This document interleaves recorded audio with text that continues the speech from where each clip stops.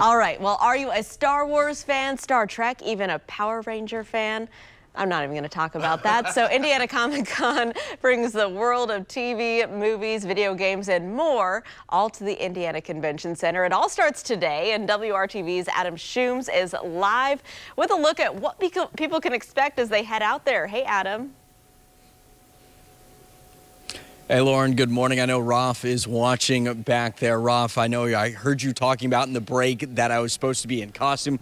I left it at home. This is my best oh. Stormtrooper costume that I could find hey, today Adam? for you. I'm no. here at the Indiana Convention Center. As you can see, my gray shoes. At least I'm wearing some socks that at least resemble somewhat of a costume today. But here, we're inside the Indiana Convention Center for the annual Indiana Comic Con convention. Will take place today through the next couple of days. Tens of thousands of people are expected. And I'm joined by Miss Abigail Wright. Abigail, good morning. Thank you so much for joining us today. Good morning. Thanks for having me. So what can people expect over the next couple days? Anything pop culture related, fan culture, you want to be here. You've got we've got comic creators, artists, we've got celebrities, tons of vendors. As you can see, we're in the vendor hall.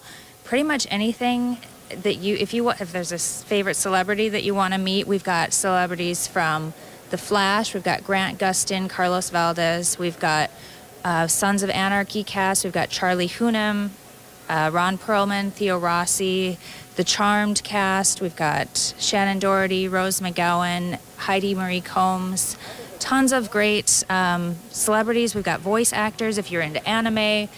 Anything that you can think of, it's it's all happening right here. And you all expected to sell about twenty thousand tickets people get dressed up for this, right? Oh yeah, people. I mean, people work all year on their cosplays. This is such a great place if you're into any kind of cosplay, anime, any of that kind of thing. Such a great place to show it off. We also have a cosplay contest.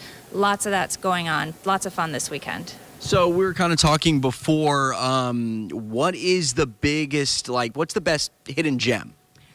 I think a lot of people don't know that we have hours and hours, three full days of programming in our panels. So you've got not only celebrity panels where you have a chance to listen to the celebrities at a moderated panel, and the audience even has a chance to ask questions, but there's also tons of other panels that are on topics like cosplay, if you're into writing, publishing, gaming, all kinds of stuff, and even wrestling. I mean, there's so many pop culture things here. It's great. Well, Abigail, thanks for uh, joining me this morning. Can't wait to get it all kicked off. And for those watching back at home, it all starts today about 12:30. Will last until about 10 o'clock tonight, and coming up at 6:30. Um, hopefully, I'll be dressed in a better costume. Roth, Lauren, hopefully you can uh, text me some details on what I can wear. We'll send it back to you. No, we get it though, Adam. We now know who you are. You are really, Lauren and I were discussing this. Two, mm -hmm. two mm-hmm. people. You are either Clark Kent, mm -hmm. you are Superman, or you're Peter Parker, Spider-Man. So really, which Good one job. is it? Yeah, we can tell that you're, you're, having sort of a crisis. You don't know which one you want to I be. wish I can get the web. I wish I can get the web out of my hand. I'm trying. I will do my best to try to get something by 6:30 okay. for you guys. Uh, you, you work on that, Adam. yeah. Good luck with you that. So